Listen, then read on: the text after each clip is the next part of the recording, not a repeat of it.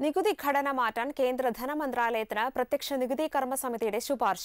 അഞ്ച് ലക്ഷം മുതൽ പത്ത് ലക്ഷം വരെ വരുമാനമുള്ളവർക്ക് പത്ത് ശതമാനം നികുതിക്കാണ് ശുപാർശ.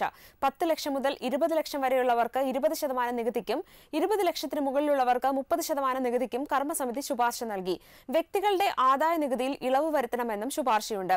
പത്ത് ലക്ഷത്തിനും ഇരുപത് ലക്ഷത്തിനും ഇടയിൽ വരുമാനമുള്ളവരുടെ നികുതി ഇരുപത് ശതമാനമായി കുറയ്ക്കണമെന്നാണ് ശുപാർശ.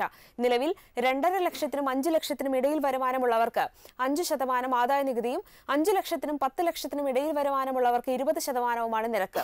പത്ത് ലക്ഷത്തിന് മുകളിൽ വരുമാനമുള്ളവർക്ക് മുപ്പത് ശതമാനമാണ് നിലവിലെ നികുതി.